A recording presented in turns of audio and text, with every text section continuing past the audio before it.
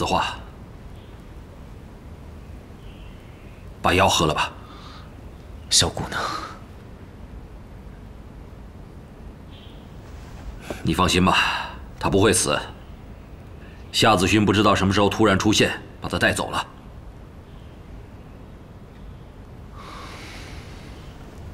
子华，子华，你到底要我拿你怎么样才好？那个丫头就是个孽徒，她已经把你害成这个样子，你怎么还不觉醒？我还是那句老话，她是我徒弟，她所做的一切都由我来负责。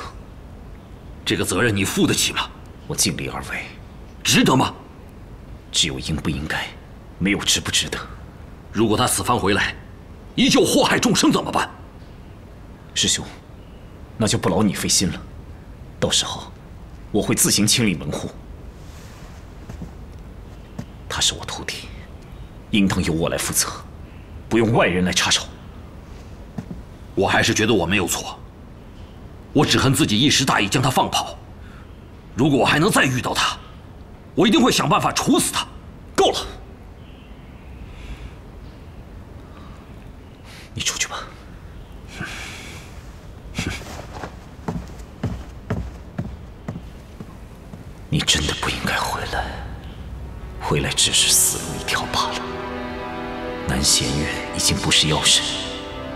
既然答应了你，又怎么会让他就这样被处死呢？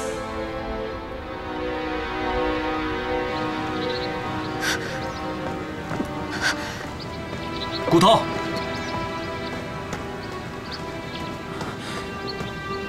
你不是去见唐宝吗？怎么受伤了？我去了绝情殿，那你的伤是白子画所为？是师尊。若不是子勋上仙救了我，我怕是回不来了。这么说，师尊知道你从蛮荒回来了。此地不宜久留，我们赶紧走。走。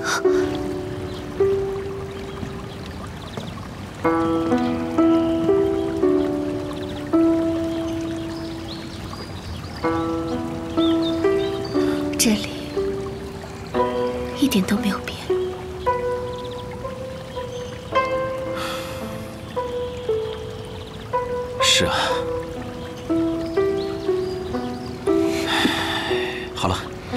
先扶你回房间，等一下我给你疗伤。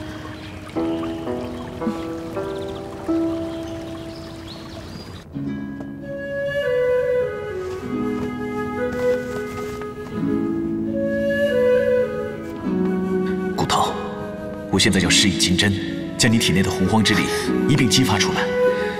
虽然无法解除你的封印，但足以让你可以自行运功疗伤。只不过会非常疼，如果无法承受，要随时告诉我停下来。没事，还有什么能比销魂体、断念剑、绝情池水更痛。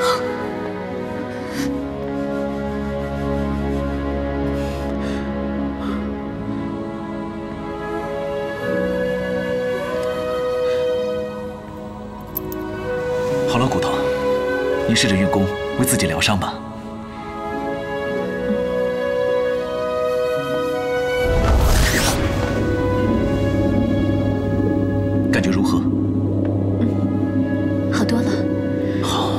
觉内力正在恢复一些。可是我的洪荒之力正在一点一点往外泄露，会不会被人察觉到我的存在？不会的，有一个一直陪伴我的人，虽然他已经死了，但他布下的结界一直在给一宿阁庇护，再加上一宿阁独有的独门阵法，即使外面的人使用官威也察觉不到。对了，你从蛮荒回来之后，你的身体没有什么大碍吧？啊，我身体没什么，只是普通的内伤而已，你不用担心，你就安心在这疗伤吧。嗯我去给你做点吃的。好。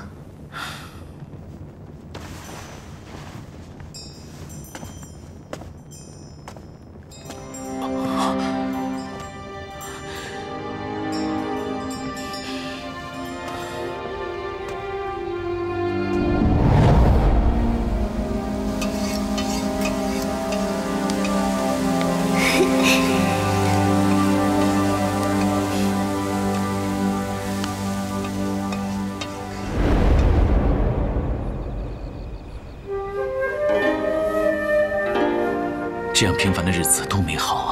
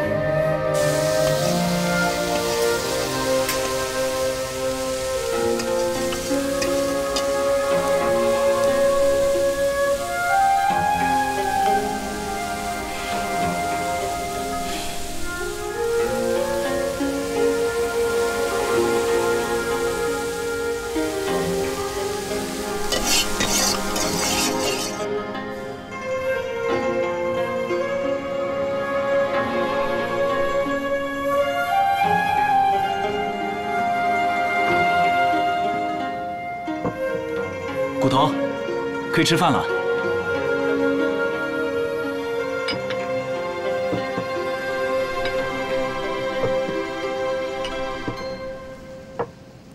我只找到这些简单的食材，所以只做了这些，跟你上次给我做的差远了，你就勉强吃点吧，啊。来，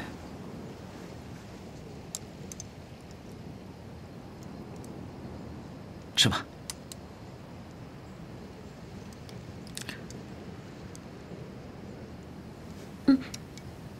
怎么了？不好吃吗？难吃倒没有，就是盐放多了一些。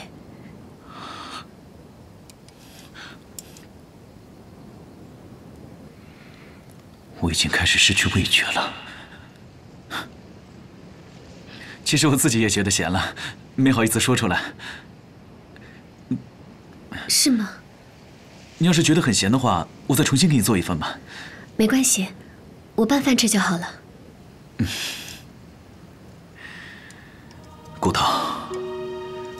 我想就这样一直陪着你。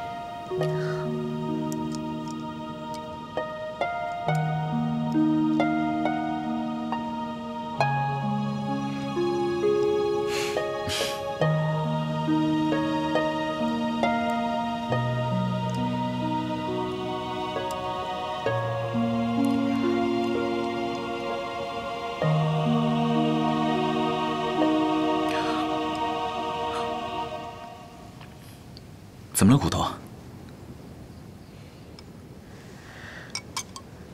今天我与师尊交手时，体内的真气忍不住爆发了一次。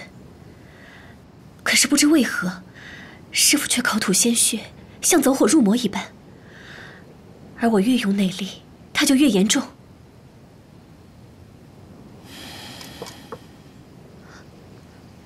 东风，你真的还想骗我吗？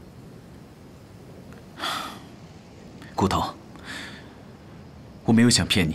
那你快点告诉我，我体内的洪荒之力究竟是被谁封印的？真的是傻姐姐吗？不是，是你师父。他为了压制你体内的洪荒之力。以命设为煞血封印，所以你一旦试图突破，他就反遭反噬。是吗，师傅？真的，真的是师傅？真的是他？真的是他？师傅，骨头，你要冷静一下。为什么一直不告诉你？我就怕你更加难过，更加内疚啊。自从朱然告诉我我体内有洪荒之力，我就一直困惑不解。小月既然把洪荒之力传给了我，师傅为什么会不知道呢？我完全相信了你，是沙姐姐所为。可是，直到现在我才发现，是我错了。这么久以来，是我错了。师傅，他为什么这么做？为什么要这么做？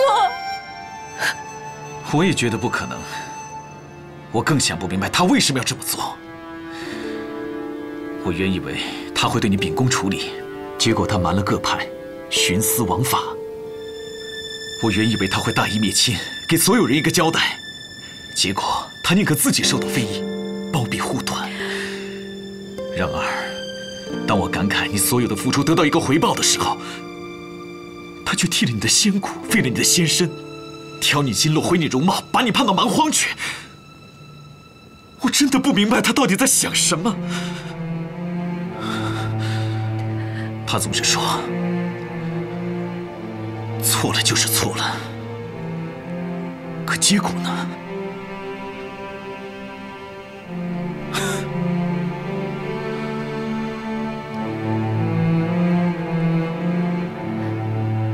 虽然为人态度冷淡，可他对我一向是极好的。施下重罚，也只不过是想让我悔过而已。逐我去蛮荒，估计他是知道了我的心思。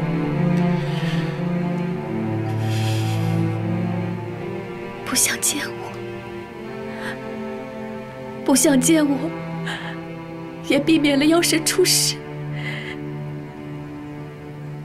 生灵涂炭罢了。骨头，师傅一面要顾着我，一面要顾着各派，他宁愿自己成为千古罪人，也不想让我白白牺牲。为什么中不元鼎毒的人不是我？一了百了，师傅也不用这样。为什么要让我这样活着？骨头，你不要再自责了，好不好？我只想让师傅好好的。可是我没有想到，我竟然把他推到这么可悲的境地。我是不是该死？我是不是该死啊？你不该死，否则你师傅跟小月所做的一切不都白费了？你师父都还没放弃你，你为什么自己要放弃自己？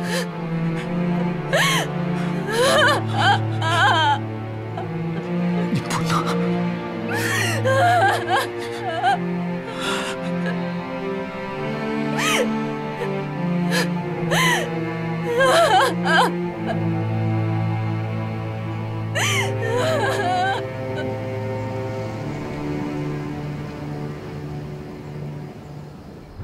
你不是说对长留再熟悉不过，一定可以找到南仙月的囚禁之地吗？长留害怕七杀殿劫狱，早就有所提防。我想，南弦月现在已经被转移出长留，到别的地方关押了。哼！继续查，五星曜日马上就要到了，在那之前，把南弦月给我救出来。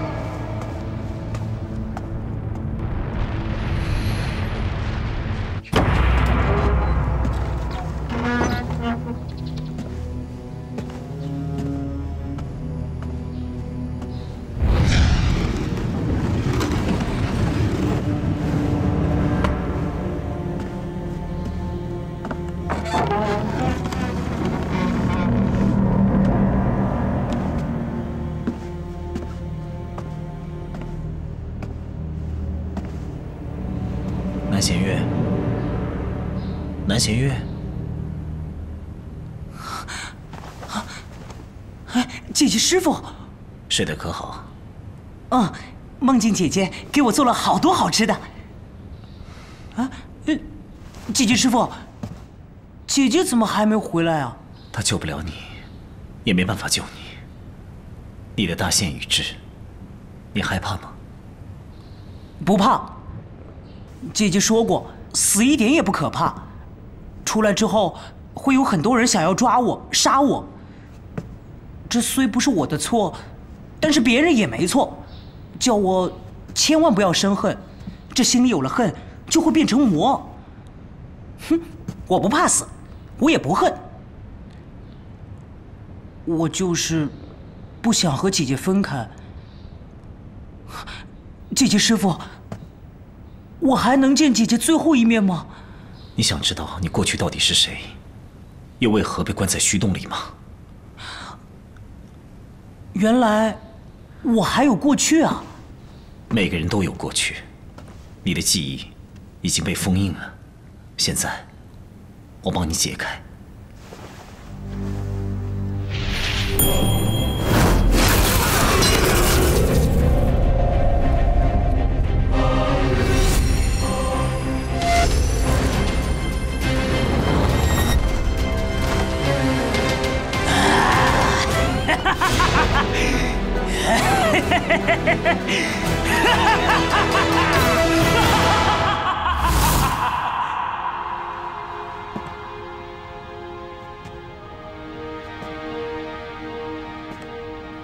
你曾是七杀殿的圣君，获得洪荒之力之后，想要一统六界，后来被十方神器封锁在虚洞之中。原来我真的是坏人，难怪大家不是想要杀我。就是想要抢夺我的洪荒之力。当时五行耀日还需要一些时间，所以大家只好把你关起来。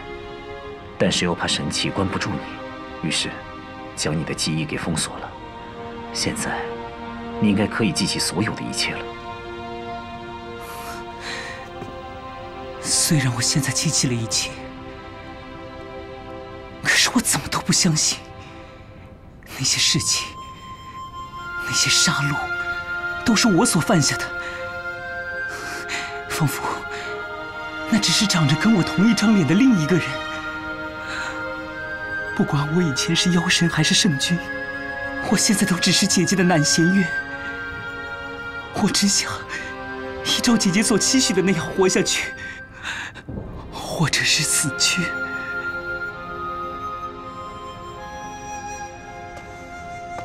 你说什么？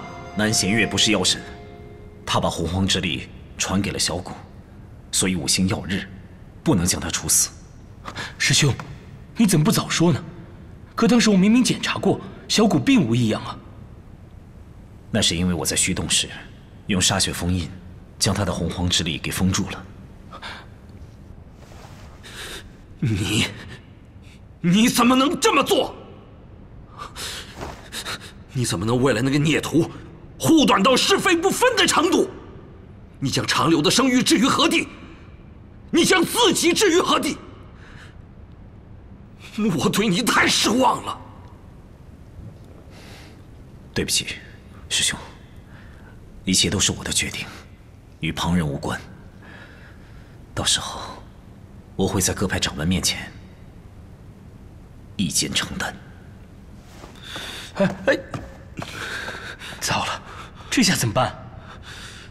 我只是后悔当初没有早点杀了花千骨。你现在说这些还有什么用啊？错误已经酿成了，当务之急是看有什么弥补的办法没有。否则，以师兄的性格，就算其他掌门不说的话，他自己也会将自己交给戒律阁严加处置。哼，现在除了瞒天过海之外，还能有什么办法？现在必须马上把南弦月处死，然后把华千骨抓回来。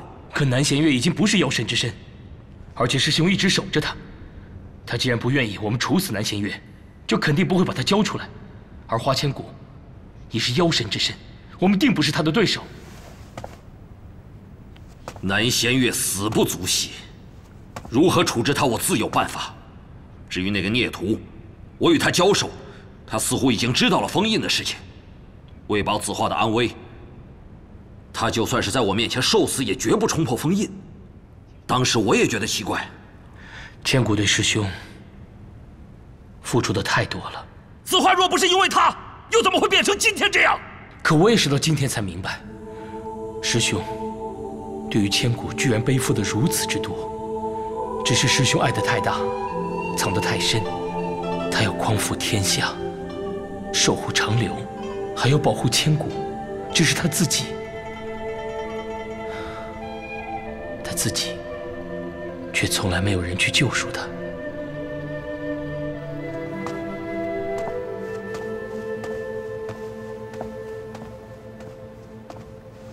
师傅，您找我？十一，你跟着师傅多长时间了？弟子不记得了，弟子只记得小的时候。师傅就把我带回了长留。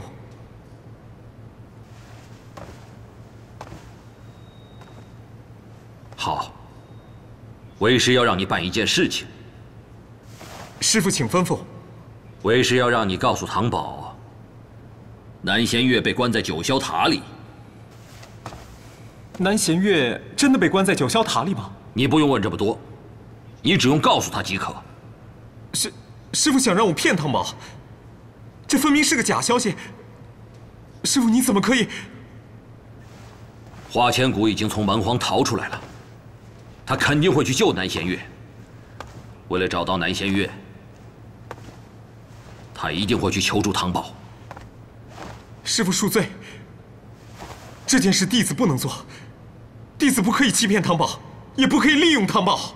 你不欺骗他，利用他，他就得欺骗你，利用你。他没有。花千骨已经从蛮荒回来了，他为什么要瞒着你？这明明就是欺骗。他要是不知道花千骨回来呢？你不要再说了。如果这件事情你办成了，为师可以考虑成全你；否则，作为花千骨的同党，我绝不姑息。师傅，你怎么可以？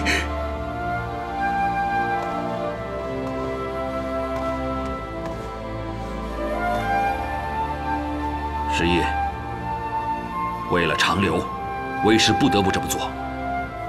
如何选择，你自己想想清楚。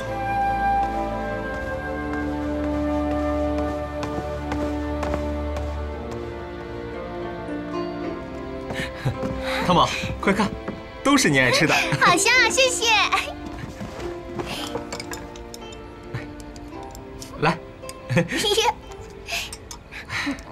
看到你开心，我也就开心了。是吗？啊，十一师兄，你也多吃点来。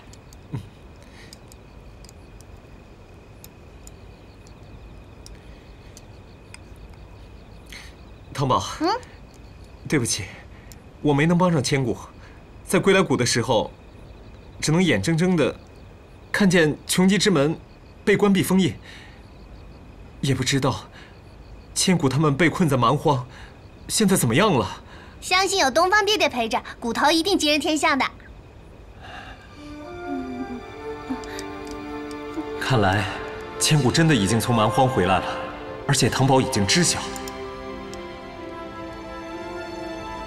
啊也是，千古不在就好。如果被他知道南玄月被关在九霄塔里，马上会被处死，他肯定会冒着险去救他的。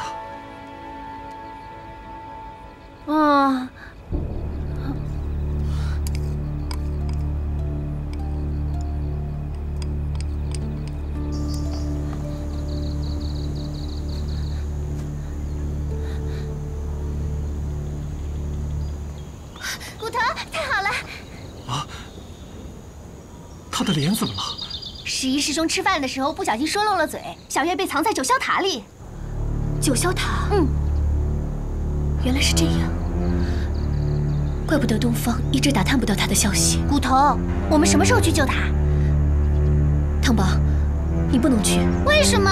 我现在一直在努力修炼，我的法力精进了不少，一定可以帮到你们的。汤宝，你能来告诉我这个消息，已经冒了很大的风险。况且，若是十一师兄奉了师尊之命来阻拦我们，那到时候你该如何面对？快回去吧，免得让人起疑，这样也会连累十一师兄的。我这边你不用担心，有东方呢。那你和东方爹爹一定要照顾好自己，一定要注意安全。嗯，我会的。那我先走了，快回去吧。怎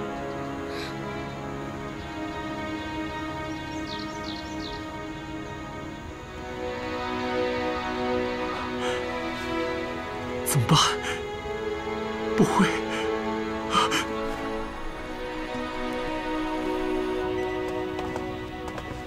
师尊，师傅，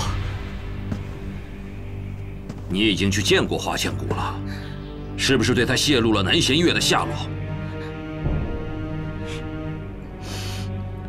是又怎么样？我就是去见骨头了。好，这件事情你做得很好。九霄塔里已经布下了天罗地网，在等着他。什么？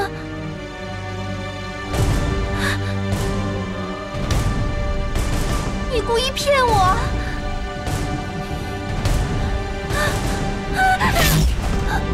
师傅，你为何出尔反尔？你不是答应过我，如果办成此事，就不会阻止我们两个在一起吗？为了长留，为了你的前途，他和花千骨都必须要死。那你就连同我一块杀了吧！孽障，让开！汤宝死了，我也不想活了。一个这样，两个还这样，这是为什么？好，我今天就成全你们。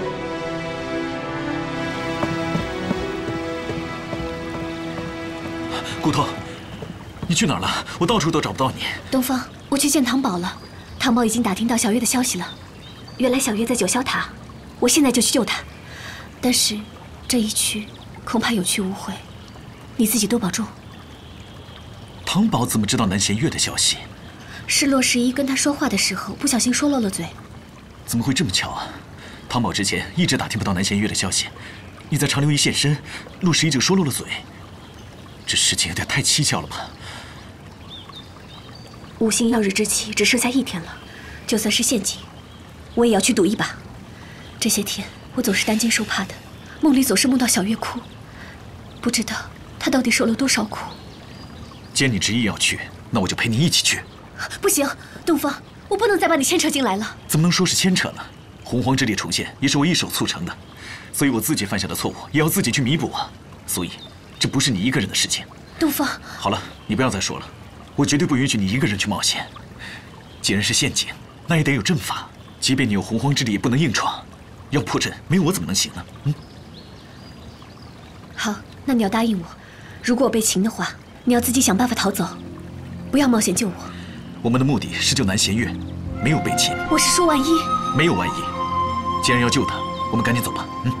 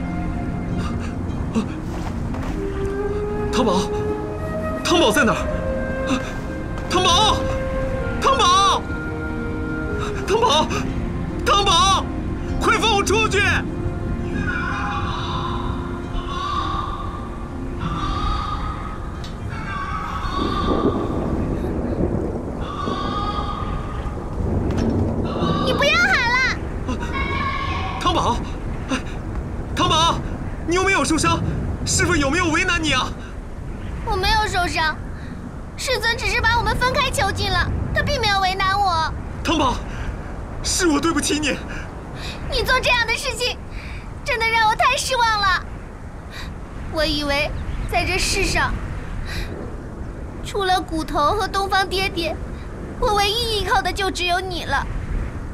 可是你呢？你为什么要骗我？汤宝，师傅拿你的性命要挟我，我是怕你受伤害呀。而且师傅说，把假消息告诉你，就让我们永远在一起，永远不干涉我们。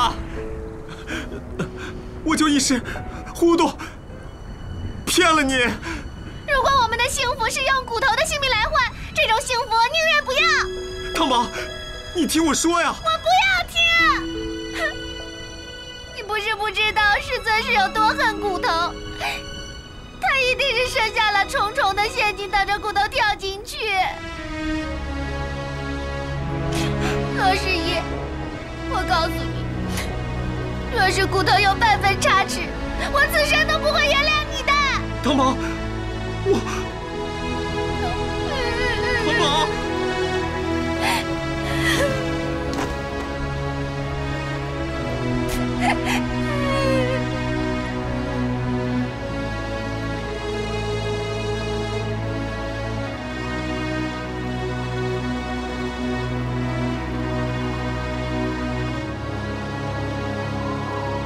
没想到又回到这儿来了。要是叔父和绿俏姐姐在的话，就好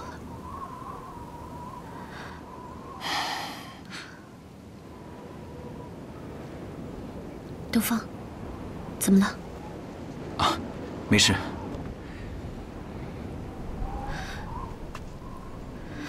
这里居然一个守卫都没有。逸秀阁没有收到任何南弦月被关到天山九霄塔的消息。我怀疑，这是长留布下的陷阱。你先在这等我，我去打探一下消息。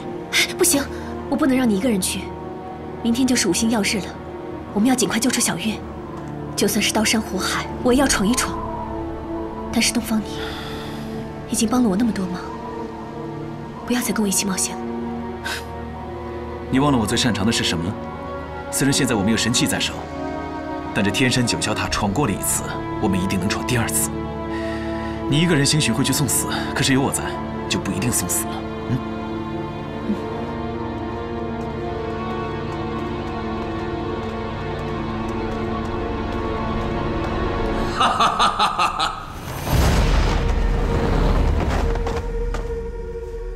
干什么？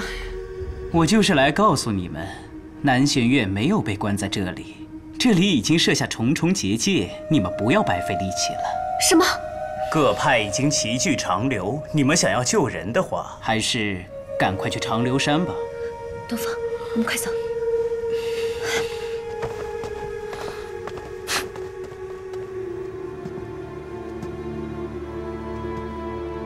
时候到了，只可惜不能再见姐姐最后一面。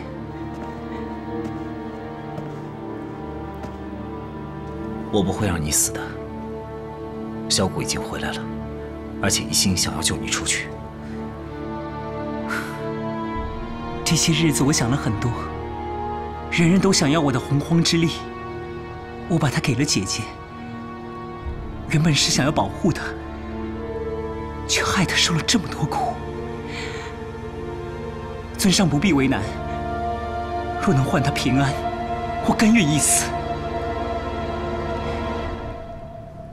只是望你念及多年师徒，对他手下留情。你能够弃恶从善，改邪归正，已经不枉费小谷对你的一番苦心了。其他的你不必多想，一切自有安排。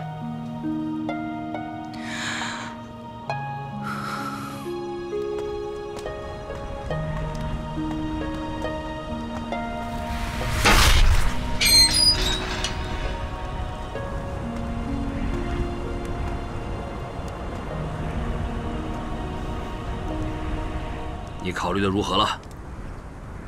只要你肯放弃唐宝，为师可以给你一个改过自新的机会。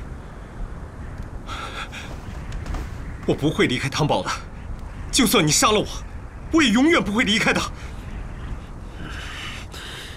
你把我对你这么多年的教导都当成耳边风了吧？啊！就是为了那个孽障的东西，就算是被逐出长流，你也愿意是吧？只要为了汤宝，我什么都愿意。好，好，那我今天就清理门户。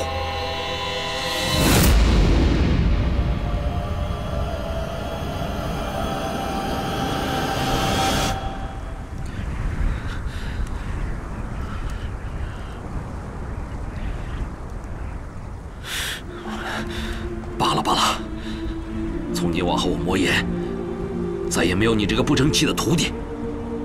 你带着唐宝滚吧，离开长留，滚得越远越好。师傅，你好自为之吧。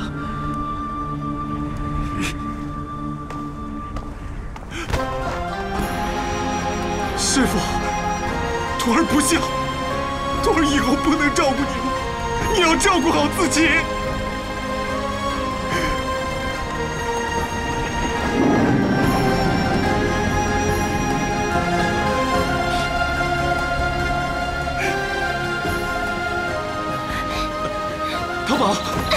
要去哪儿？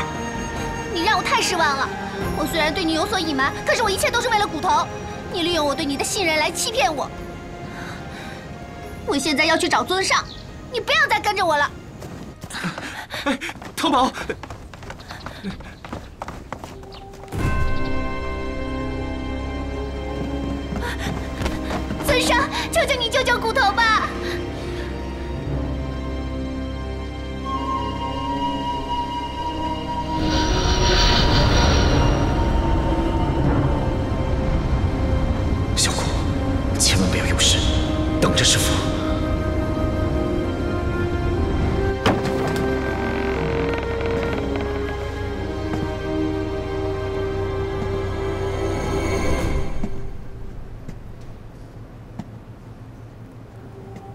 你的时辰到了。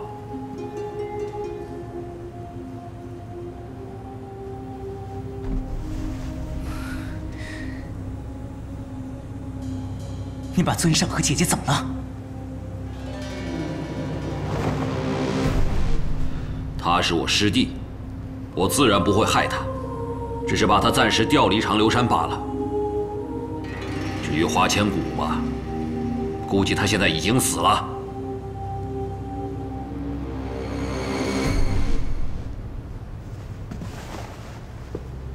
能将尊上调离，无非是赶去救姐姐了。我相信，有尊上在，姐姐一定会没事的。哼你还是多关心关心你自己吧。来人，把他拉去长留教场，等待五星耀日，就地行刑。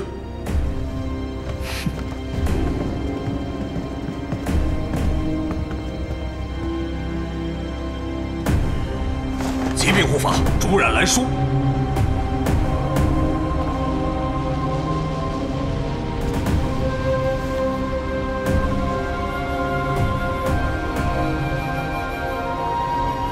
集结众弟子，随我攻上长留山。是。是。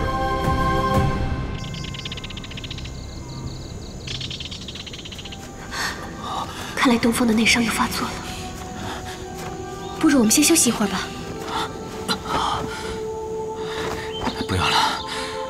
一会儿一定会有场恶战，你不能在我身上浪费内力。要不我先把你送到一宿阁去。来不及了，你认不认识缩蝉草？麻烦你帮我弄一些来，也也许可以暂时压制我的伤势。好，我这就去帮你找。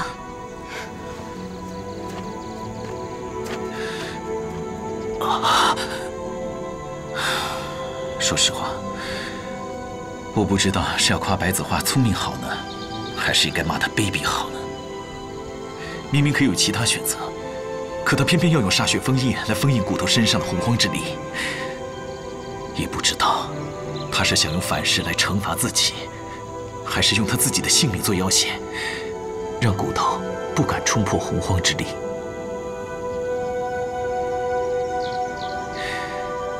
白子画无怨无求。他比谁都看得更长远、更通透。但这并不可怕，最可怕的是，在他的世界里，没有爱与恨，只有对和错。如果骨头要压抑自己身上的洪荒之力，那就南弦月就更加微乎其微啊！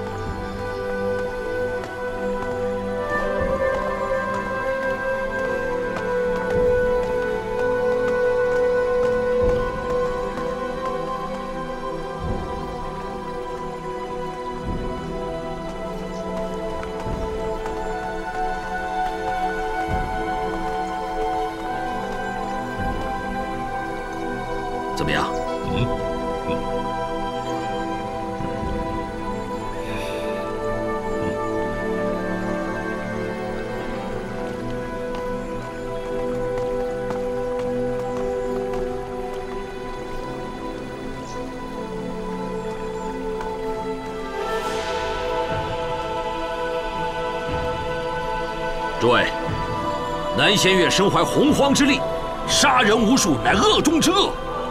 若不将此人除去，定会成为众派之害，威祸四方。这次请众位来，就是要大家亲眼看见南弦月被处死，将南弦月绑在剑幕之上。